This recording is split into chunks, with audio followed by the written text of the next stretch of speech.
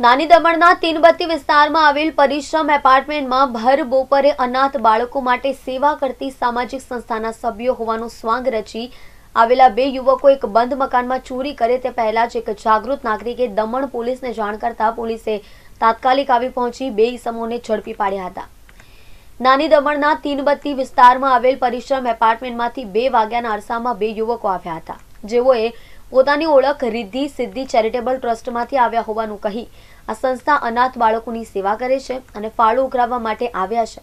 તેમ કહી બિલ્ડિંગમાં પ્રવેશ્યા હતા. જોકે આ વખતે એક બંધ ફ્લેટ જોઈને બંને યુવકો સાથે લાવેલી છીણી જેવા હથિયારથી દરવાજો તોડવાનો પ્રયાસ કરતા હતા. તે વખતે સ્થાનિક રહીશે દમણ પોલીસને જાણ કરતા પોલીસે તાત્કાલિક આવી પહોંચી સામાજિક સંસ્થાના સભ્યો હોવાનો સ્વાંગ રચી ચોરી કરવાના ઈરાદે આવેલા મુંબઈના અંધેરી ખાતે રહેતા વિનોદ, કિશન પરમાર અને રાજસ્થાન ખાતે રહેતા પપ્પુ કુમાર ચોખાજી મેળાની ધરપકડ કરી આરોપીઓ પાસેથી છીણી જેવા સાધનો અને રિદ્ધિ સિદ્ધિ ચેરિટેબલ ટ્રસ્ટ ડોક્યુમેન્ટ્સ તથા નાના બાળકોના પાડવામાં આવેલા ફોટા સહિતનો સામાન કબજે લીધો હતો.